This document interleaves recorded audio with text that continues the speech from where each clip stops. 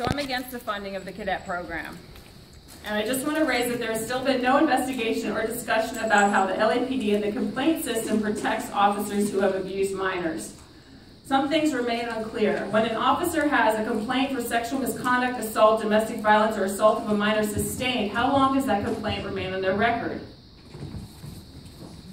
We know that with the police department in Baton Rouge, for example, officers can have sustained incidents of sexual misconduct removed from the record after five years. And we also know that with the LAPD, the last time an audit was done by the Inspector General in 1997, in over 75% of cases of domestic violence that were sustained against officers, the performance evaluations of officers did not reflect the misconduct or were dramatically minimized or dramatically minimized what occurred. So this is something we still don't know today for all their examinations and recommendations about the cadet program. We still don't know when a complaint against an officer is sustained, how long does it stay on the record? And I'm asking because it, that's something that you would know and would have looked into if you cared about reducing harm. For officers that have been fired or who have resigned in lieu of penalty after having a complaint sustained against them, how does the LAPD make sure that person is not going to continue to harm others or get hired by another agency?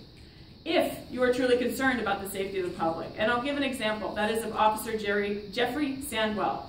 Officer Sandwell was arrested for the forcible rape of a 17-year-old girl he knew in his neighborhood. Sandwell was part of the Neighborhood Watch program, whereby his home was proclaimed a safe haven. Sandwell was held for five days, and when additional women came forward with claims of assault, Sandwell was released mm. after the DA decided not to press charges.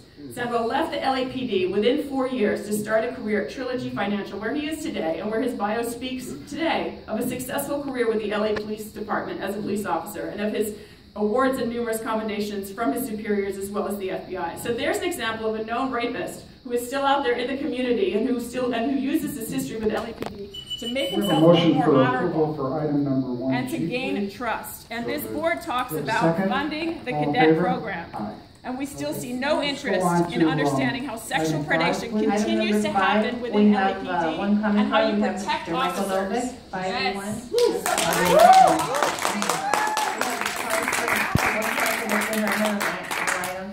Not present. Okay, so there's no, um, five eight two? Did you